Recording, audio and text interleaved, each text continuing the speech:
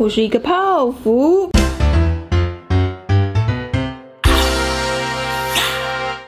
嘿，我芊芊呐，爱记起赞购、起订阅、洗刷介绍和你所有的朋友哦。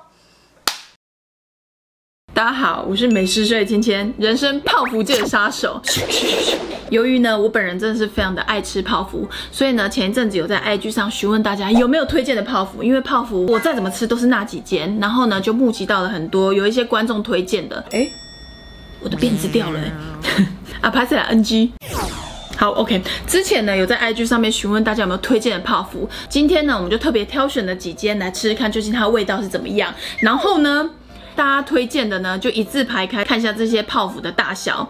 那除了桌上这些呢，你以为就只有这样子吗？最大的莫非就是这个食玉塔吗？但不是，我们还特别从台中订了一间这个胖。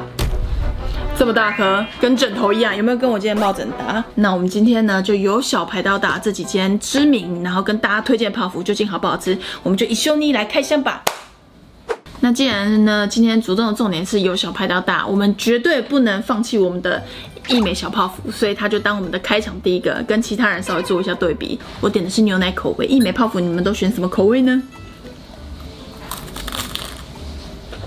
然后呢，一样也是要咬个薄面给大家看一下。嗯，牛奶口味就是好吃。接下来这一间呢是提拉米苏，金赞的提拉米苏，它这个呢一颗是十二块，然后呢它最少一盒要买五颗，因为我不知道大家有没有吃过他们家的提拉米苏，就盒子深咖啡色的嘛，对不对？然后给大家看一下它的外皮，它外皮是菠萝的外皮，然后摸起来其实有点偏软，我们来咬一下它，看它味道怎么样。嗯，给它从屁股炸开，给我们看一下。内馅是鲜奶的卡士达，奶味还蛮重的，跟我们印象中一般卡士达那种很浓郁浓稠感觉不一样。它里面的内馅是属于比较介于奶油跟卡士达的质地的中间。菠萝饼皮吃起来是偏软，有点像软皮的泡芙，但是呢，它上面是菠萝的饼皮这样子。我觉得整体吃起来其实有点点偏甜，不过我觉得还 OK。但它一颗十二块，对我来说我觉得还蛮划算的。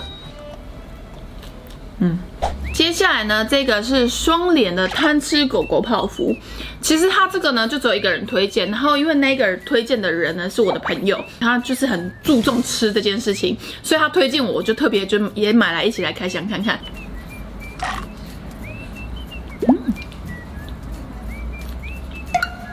给大家看一下。哎，我觉得很好吃哎，就是它外皮偏酥脆的那种口感，然后又不会到太甜。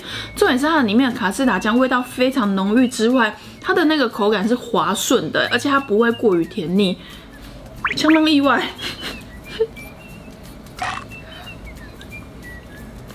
而且你有发现它内馅给超满的吗？就是这样整颗全部里面都是。哎，这个好吃哎，这个我完全就是会想回购的。等一下哦。接下来这一间呢是诺维，其实我觉得泡芙店叫诺维的感觉有点有点特别，因为感觉诺维好像就是书店吗？然后呢，买的是它的那个招牌的经典的那个草莓泡芙，它饼皮是。这应该算菠萝饼皮吧，口感应该是比较偏脆的那一种。我跟你讲，这间非常非常的难难买，这间就是通常你要先预定，如果你去现场买的话，你要等下午四点的时候老板试出。然后它的外外表呢，我觉得跟刚刚几间比较不一样的原因是它比较小卡层一点点，看起来很碎。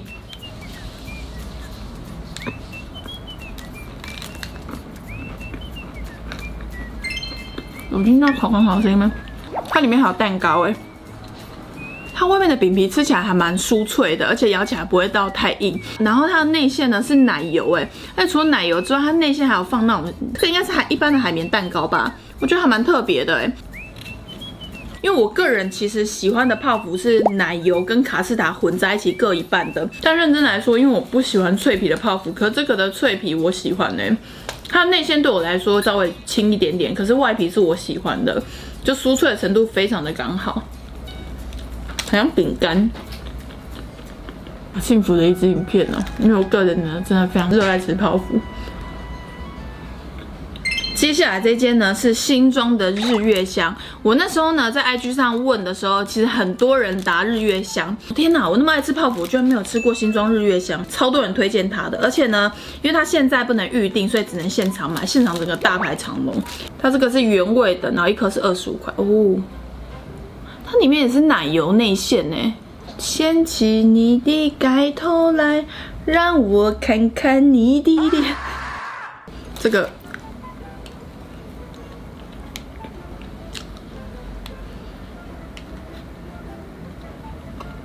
嗯，我可以理解为什么它这么多人排队，因为这个就是很常销售一空，它就是皮薄，内馅非常的多。你看它奶油是整个炸开的那一种，然后它的奶油吃起来是蛮轻盈的那种，不会过于甜腻。我觉得它的饼皮啊，面粉味还蛮重的，我觉得有一点点抢。如果我单吃上面的这个啊，然后再配那个它的内馅，我会觉得还蛮好吃的。可它下层的那个面粉味就有点太重。嗯。这间比较不中我，我们下一间，下一间呢是最多人推荐我的，就是 Beer Papa。Beer Papa，我相信大家应该蛮多喜欢泡芙的人都有吃过。它有三种饼皮，这个呢它是菠萝的饼皮，我们有买另外两种。这个呢是饼干的饼皮，以及日式的软皮。不知道大家比较喜欢哪种类型的皮的泡芙？因为我个人其实是比较偏爱软皮胜过于脆皮的。我现在吃软皮的。这间呢是我本人对泡泡芙的一个基准。我以前在还在医院工作的时候，它的地下美食街就有卖这个的泡芙，然后我就很常去买它。给我们看一下剖面，它的内馅呢是卡士达的，然后呢是香草卡士达口味，就是你还看得到香草籽的那个一颗一颗黑黑的荔枝在那边。它有香草味，然后卡士达吃起来又不会过于的浓稠，是属于比较偏滑顺的，因为是我喜欢的软皮，然后软皮吃起来又不会过甜。好吃，这个不管吃几次都觉得好吃哎。我之前看日本的综艺节目有说，如果你要吃泡芙，怕它整个炸出来的话，你要倒过来吃。倒过来吃原因是因为它上面的那个饼皮不是一层一层的吗？你在咬的时候，它就会渗进去那个一层一层的饼皮，它就不会从下面炸出来。我不知道这样效果好不好，我来试试看哦。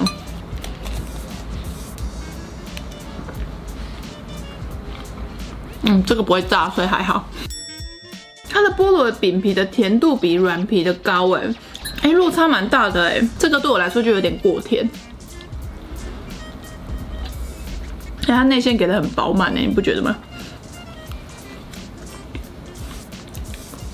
嗯，是不是有气色味道？我现在才知道，原来它的那个饼干，因为菠萝皮跟它的软皮的味道会差蛮多的。嗯，好神秘啊。它饼干皮的外面啊，吃起来有点像是饼干，然后有点不得打那种有点偏湿润的那种感觉，可是还是保有它的脆度。我知道形容他们会开心吗？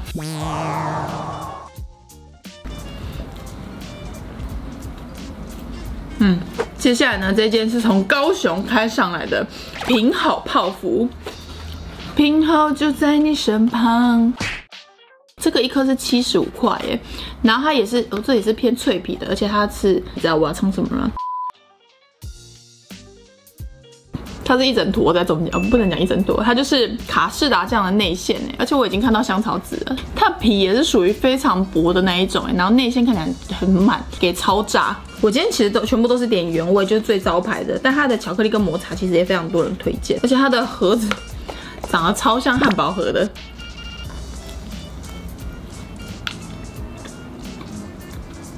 嗯，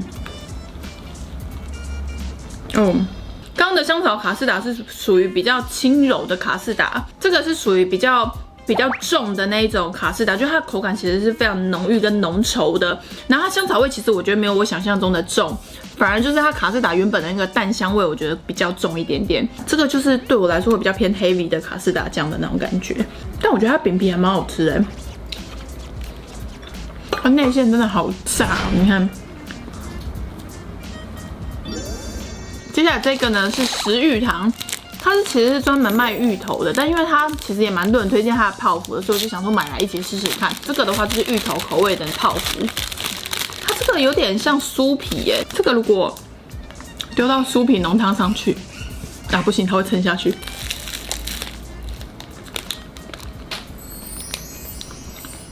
的酥皮吃起来非常的酥脆，而且很蓬松，咬下去的时候那种脆脆的声音，我觉得还蛮疗愈的。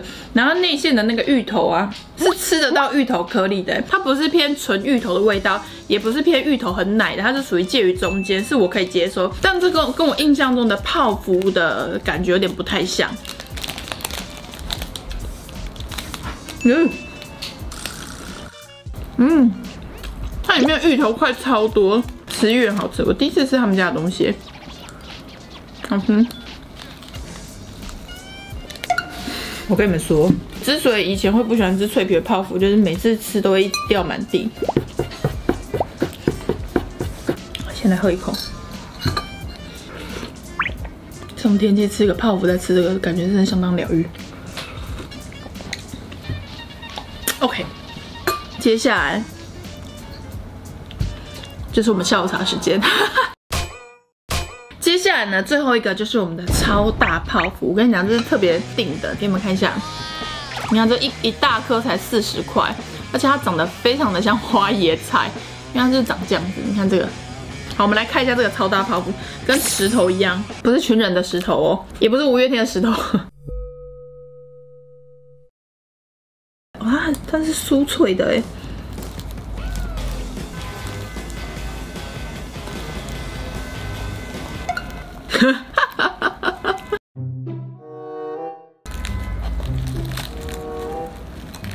它就是，哎，好，我们吃有内馅的，我们来试试看。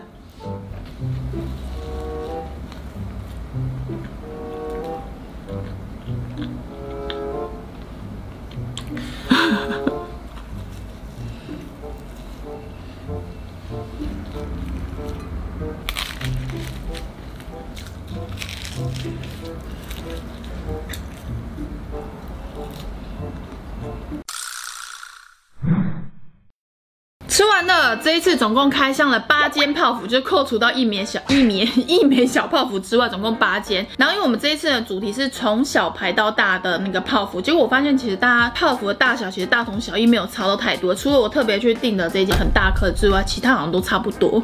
然后呢，我先讲我个人最喜欢的哈，我个人最喜欢的是双联贪吃狗狗的泡芙，外皮呀是非常的酥脆，而且是薄酥脆。然后内馅的一个卡士达酱，就它给的其实非常的满，就整颗几乎里面都是酱。再我要讲一下平好跟日月香，其实这两间呢都是很知名的店家，因为我个人比较喜欢吃软皮，它的皮呀是脆的，可是又不会让我觉得咬起来非常的硬，然后口感非常的刚好，我还蛮喜欢的。食玉堂我觉得很特别，但它跟我印象中的泡芙印象不一样，所以虽然说我今天有选它，但它好像。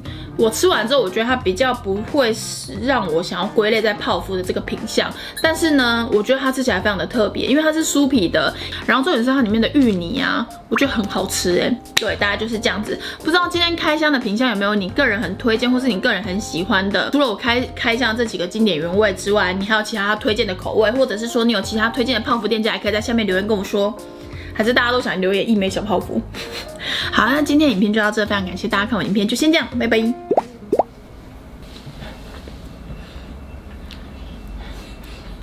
怎么办？